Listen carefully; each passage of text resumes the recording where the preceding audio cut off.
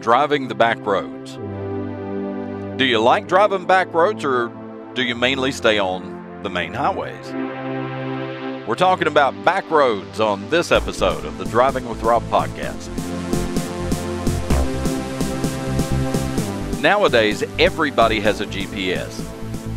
When they first came out, you had to have a separate GPS device in your car. And some cars now come with GPS on them. But everybody has GPS on their smartphone. Well, in the good old days, you didn't have GPS.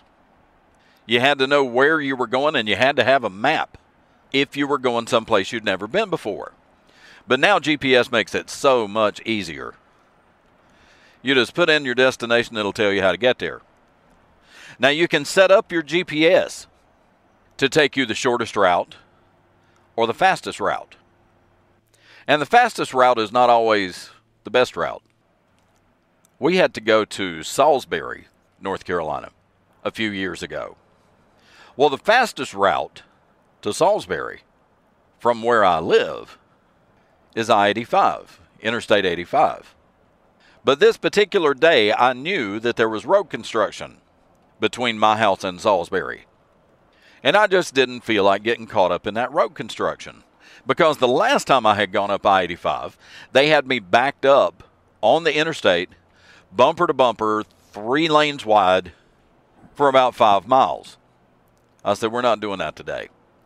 Well, I found out on my GPS you can also choose scenic route. And when you choose scenic, it usually takes you off the interstate and gives you directions that way. And you see, I always called it taking the back roads. GPS calls it the scenic route. And most men will never admit when they're lost. And with the GPS, you're never lost. And I am much more prone to stopping to ask directions than most men because I really have no pride when it comes to things like that. But of course, now that you have GPS, you don't need to ask directions. The GPS will tell you. But I found out I can put scenic route in my GPS.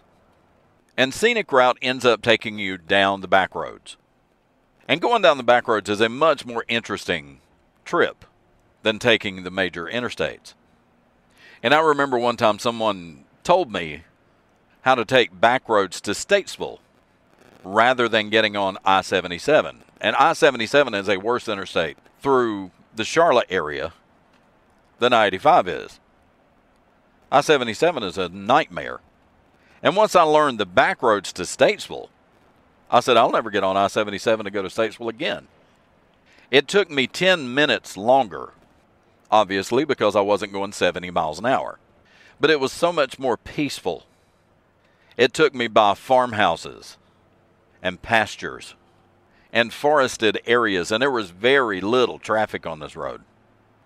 So, yeah, the back roads were the best way to go for me, just to have a stress free trip to work. And I remember one time this company that I was working for sent me to Charlottesville, Virginia. It's not the other side of the world, but it's not right around the corner. Well, I decided that I was going to take the back roads, meaning that I wasn't going to be on the interstate.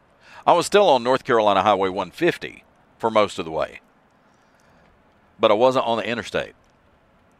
And it was a great trip. I went through these little towns that I'd never heard of before. It took me longer, but it was a much more interesting trip. And when you take the back roads, you notice things like barns and windmills. And you think about things like why someone used split rail fence instead of barbed wire, and why somebody decided to have a paved driveway instead of a gravel driveway. And when I was growing up, a lot of the roads in Lincoln County were dirt roads. All dirt roads are back roads, but not all back roads are dirt roads. And when I was 16 years old, gas was still 50 cents a gallon. And I was driving a car that got 30 miles to the gallon. I was driving a Volkswagen Beetle. So the most fun thing I could do on a Saturday was fill up my tank for $5 and just drive around. Wonder where this road goes. I wonder where this road comes out. So my VW Beetle was constantly dirty. I had to wash it all the time because I always took the back roads. I always took the dirt roads because it was a lot more fun. And I asked my grandfather one time, I said, why are all these back roads and all these dirt roads so curvy? And there was this one particular road called Stagecoach Road. And it was a very, very curvy dirt road. And he told me that years ago that actually was a stagecoach road. That a stagecoach used to actually have that as its regular route. And the reason the road was so curvy is because before the days of automobiles, it was very difficult for a horse drawn wagon to pull a steep hill.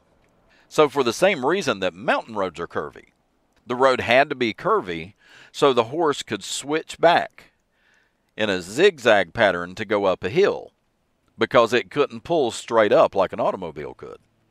And when I was 16 years old, I could tell you where every dirt road in Lincoln County came out.